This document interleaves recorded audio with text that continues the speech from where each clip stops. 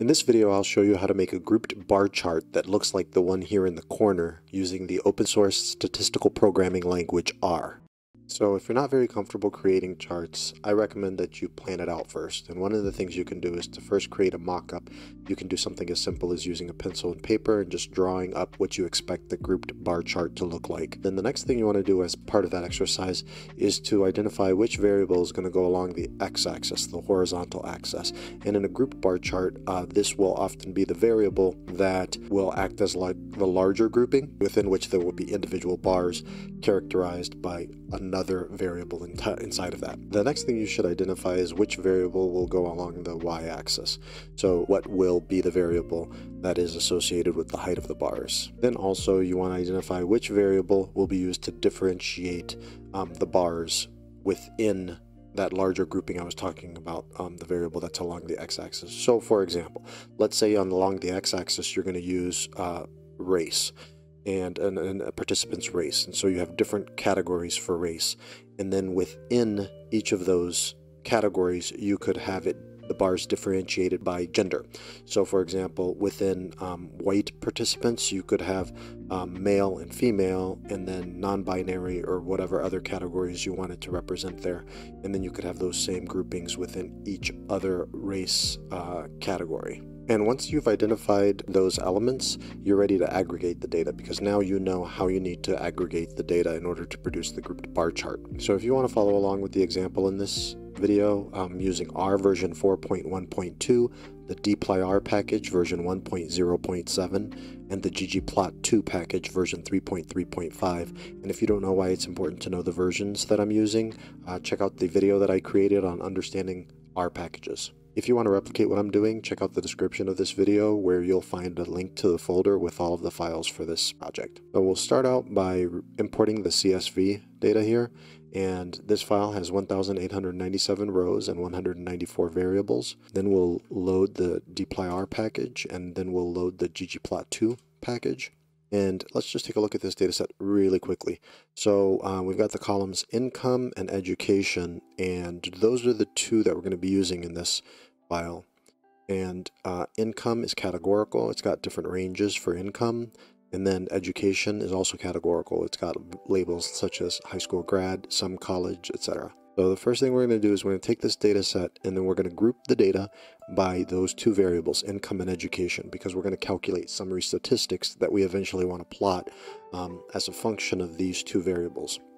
So we will run this line and then the next thing we'll do now that we have these data grouped by income and education is we're going to create some summary statistics. So we'll put the same object that we've created that's grouped the data by these two variables. Put that within this function called summarize. That's also from the dplyr package. And what we will tell R is we want to create a new variable called number of customers, and that will be equal to just the n function here in dplyr. So that'll count up the number of rows, and it will do so within every cross section of income and education um, because that's how the data are grouped here. So once we run this, and I'll highlight both lines because my code runs across lines here, I'll run that. And now if we take a look at this object, we see that there's one row for each combination of income and education, and then there's a column here called number of customers. And that's what we created using this line of code here. So now that we have this summary data, which we're ready to plot, um, we just want to do a little bit more cleaning. So we know that education and income have particular order to their values, and we just want to make sure those are represented because in this file here, it looks like income is just a character and education is a character. And we want R to respect the different levels of that so that when we display the results, that it's keeping them um, in that consistent order that we care about. And to do that, we're going to use this mutate function from the dplyr package, and we will give it these, this object, this uh, data frame we've created here and we're going to create a new variable called education, which of course is the same name as an existing variable, so it'll overwrite that.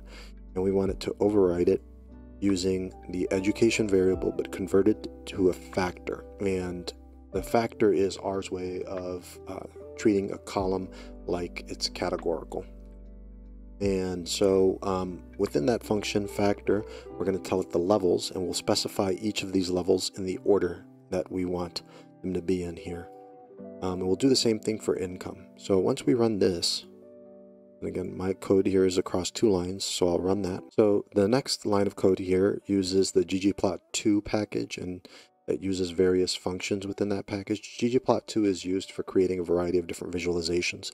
And the GG in ggplot2 stands for the grammar of graphics. And basically, it uses this philosophy that every graphic is made up of various components that are added together to produce um, the desired chart or graphic of any type. And that's how ggplot works, is you basically layer different components on top of one another to create the target chart or graph that you want to create. And we'll always start out here with this first function, which is just ggplot. So from the ggplot2 package, I want the ggplot function, and that function takes a few different arguments. One of the arguments is data, so we have to tell it what is the data frame that we're going to use for this. And we're going to use the one that we've created here that has all the summary information that we want to graph. Then the next argument is in this AES function, and the AES function is useful for whenever you want to map a variable in the data frame with one of the arguments. And so what we're going to do here is we're going to map education to the x-axis. So we'll do that by saying x is equal to education within this AES function. And then we'll say y is equal to number of customers. So this is where it was important to, or this is why it was important to think through what you want your chart to look like. Uh, because once you know what you want to map on the x-axis and on the y-axis, etc., it becomes really easy to plug them into the corresponding places here. And then we'll use this fill argument and we'll say fill is equal to income. And that's denoting that um, the differentiator for the columns within each level of the x-axis. So in this case, within each level of education, the differentiator is going to be income. Now, if I run this, it'll just give me a chart here where education is mapped to the x-axis and number of customers is mapped to the y-axis but you'll notice that there is no figure in here. And that's because we've laid the foundation for this chart by saying what's going to go on the x-axis what's going to go on the y-axis. Um, we've even specified that income will be the thing that denotes differences within those categories but we haven't specified what the actual image is going to be that's going to go in here. For that we're going to use this geom bar function which is going to tell R that we're adding the a bar chart on top of that. And we're using this plus here. So we're adding this next layer of a bar chart. And this geom bar takes a couple of different arguments. The first one here is, is going to be position is equal to dodge.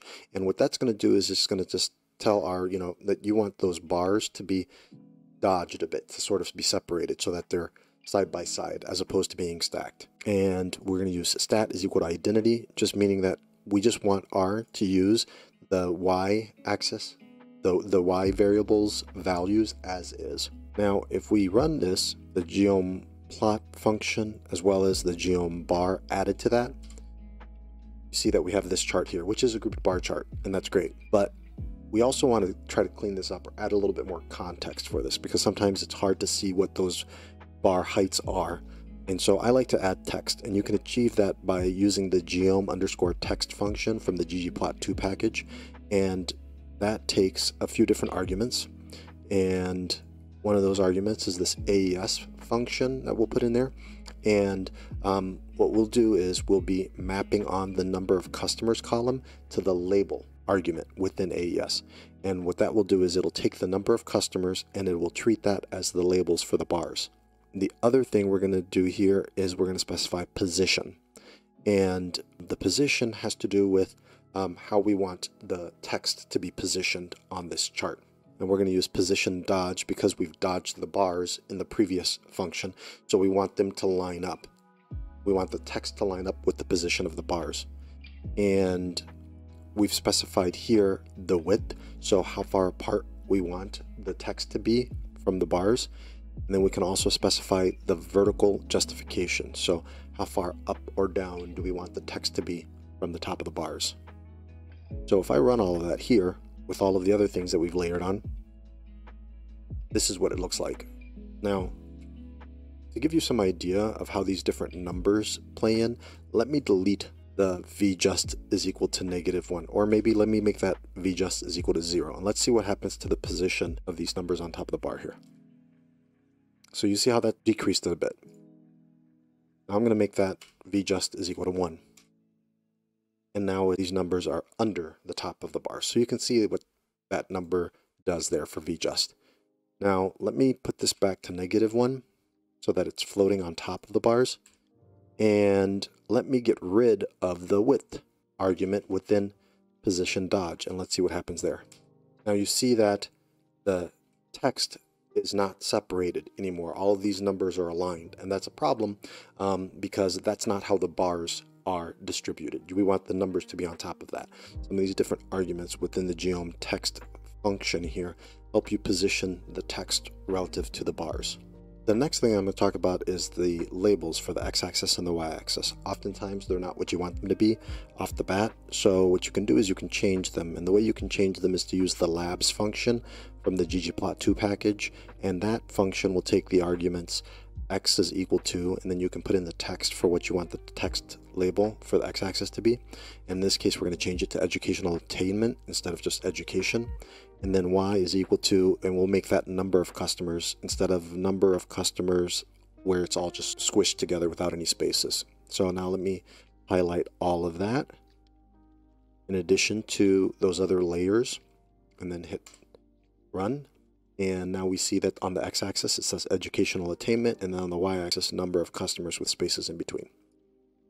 The next thing I'm going to talk about is the ability to change the colors. You might not like these colors by default and because we used the fill argument here in this geom or in this ggplot2 function and we said fill is equal to income, we are able to specify manually the colors we want for the different levels of income using this function from ggplot2 called scale underscore fill underscore manual. And this will take the argument values and then we'll say equals to and then we'll give it a list here using this C colon and then the vector of color names here that we want to use. And this has to have the same number of colors that you're providing as the number of levels for the income variable here because again we used income for the fill variable. So we're going to say red, black, blue, green, yellow. So this this will map red to the the first category for income, black to the second category, blue to the third category, etc. So we'll highlight that all.